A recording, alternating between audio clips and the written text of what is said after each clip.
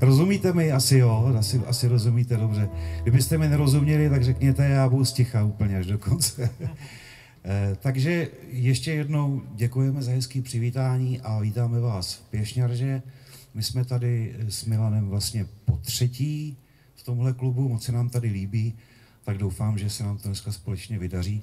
Eh, abych vám řekl, co budete dneska, pokud zůstanete, pokud vydržíte do konce, co budete poslouchat. My jsme teď eh, před asi třemi, čtyřmi týdny vydali, nebo jinak to řeknu, nakladatelství, slavné nakladatelství pražské Galen nám vydal eh, CDčko, naše debitový CD, který se jmenuje Chladno, ale jasno.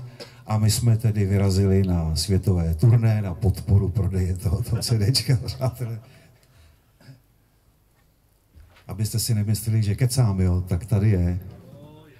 Tady máme, kdyby si někdo chtěl koupit, sorry, je k mání za 50 zlotých, protože to je dvoj CD a to je vlastně zadarmo, že jo, to je, to je nic.